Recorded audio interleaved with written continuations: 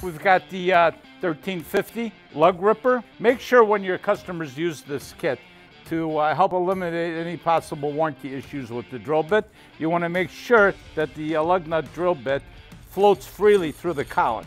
You don't want it drilling its way binding inside this collet. That's going to put undue pressure on the tips, causing them to break.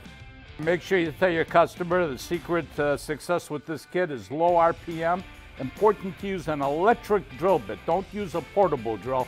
We get much better torque out of an electric drill at low RPM, five, 600 RPM, uh, a nice steady stream of water for cooling.